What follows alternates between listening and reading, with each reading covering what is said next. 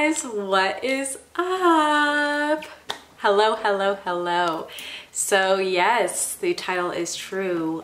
I met Lennon the bunny. And I actually made a video talking about my experience, kind of like story time, but then the video came out so fast and I was like, oh, instead, I should totally do reaction to my video.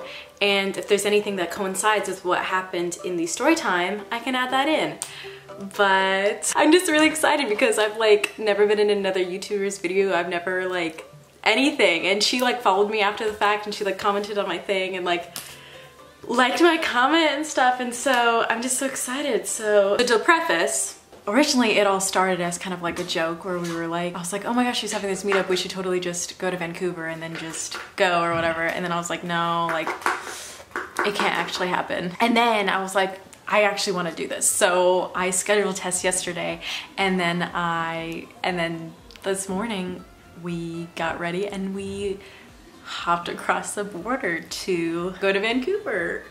So we literally got, we literally got COVID tested, got our passports together, all our documents, and we were like, we are going to go meet Lorelei. Okay, ready?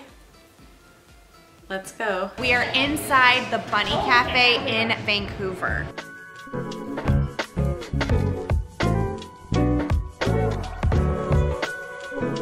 So yeah, before this, I had no idea that bunny cafes even existed um, at all, which I guess this is the only one in North America. So that's crazy that I live an hour away from it now. But when I saw she was meeting there, obviously I wanted to go because it's in Vancouver, but it was just kind of a dream for a bit. But then I was like, no, I can actually make this happen. But then I like looked at the actual address where the meetup was, and then I saw it was at a bunny cafe with actual bunnies. So it was it's so cool.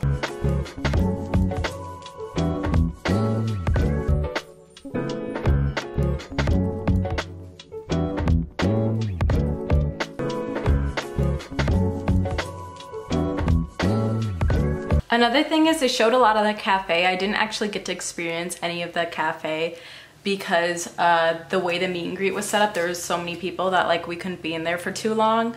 So we didn't actually get to sit in the cafe or order anything or like get like bunny merch yet. So a little unfortunate, but also understandable. June 2021 and I found that the cat cafe was such a good model for helping get cats adopted so I wanted to try to create the same thing for bunny. I always thought that. I always saw cat cafes and I was like, this would be great. It's a bunny cafe. That's like my dream job. And I didn't know one existed. Ooh, this is a meet and greet.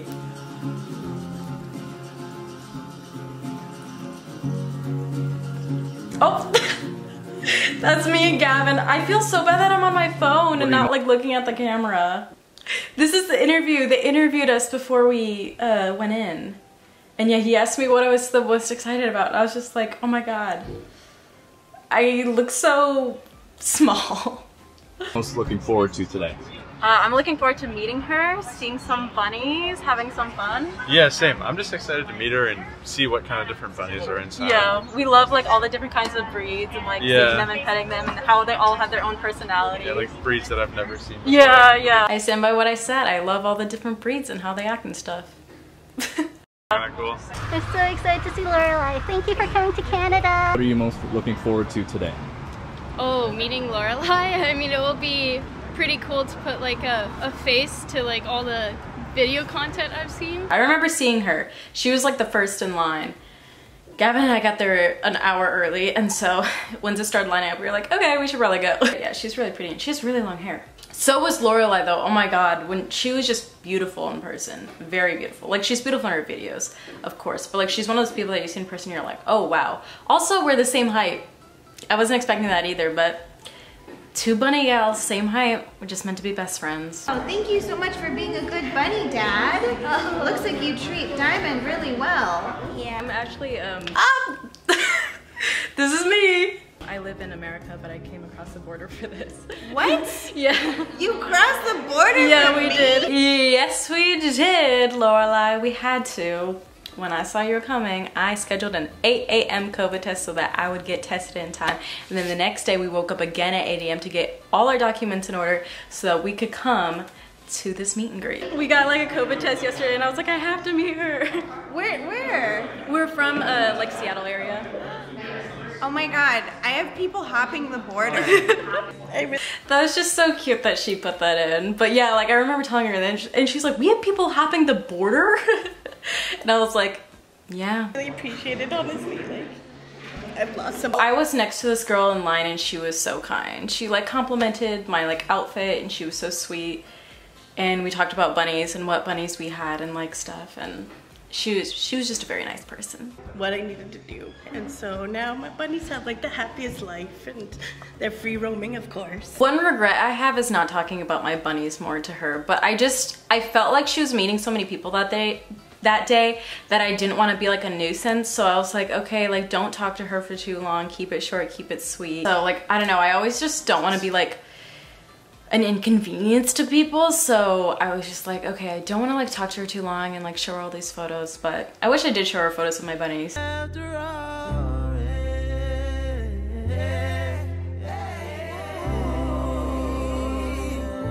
She's watching this, maybe I'll just like put a couple up in the corner. I don't know that she would watch this video, but at the same time, you never know. So these are my bunnies. It's are six and three, and somehow they have the most energy in the world. So every day we play, we do a lot of stuff together, and they love it. And then just cuddling with them. They love cuddling. They love watching TV and being on the bed. I got them these stairs that they love. But yeah, um, having free range bunnies is pretty fun, and when you do it right, uh, not too hard. But I love them, and they're literally the highlight of my day every day. And here's Oreo giving me kisses. Follow if you want to see more of my bunnies.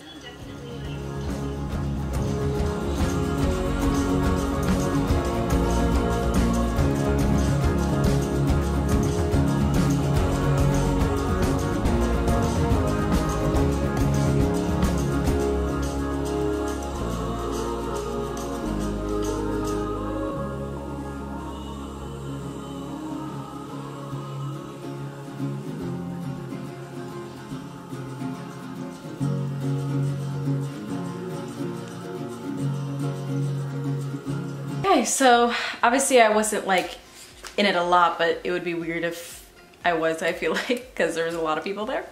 Um, but I still think it's just like so, so cool. It was really awesome. It was just a crazy experience. I've never experienced anything like that. And obviously being surrounded by so many bunnies was amazing, getting to pet them and getting to know them.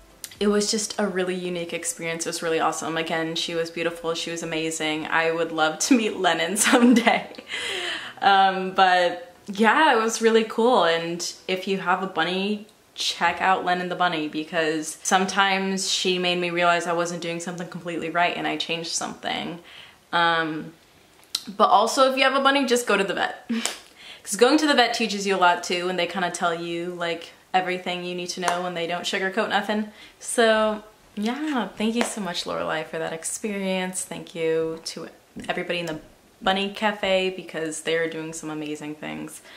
Um, guys, rescue a bunny. They're beautiful and they're lovely and they take a lot of work, but they are worth it. So thank you guys so much for watching. I'm Chikin Kween. This is Lightbulb and have a good breakfast. Goodbye.